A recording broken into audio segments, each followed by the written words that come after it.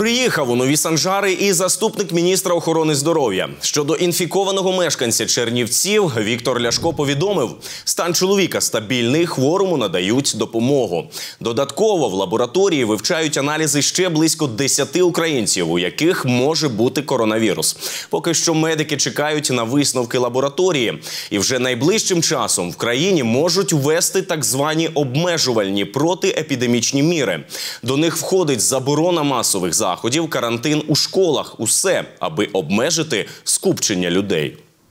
Дається повітряно-крапельним шляхом, і треба як мінімум за півтора-два метри знаходитись від людини для того, щоб не інфікуватися. Не потрібно скуповувати маски. Маски це не захист, це оманливе відчуття безпеки. Маска одягається на тільки людину, в якої є симптоми гострої респіраторної вірусної хвороби,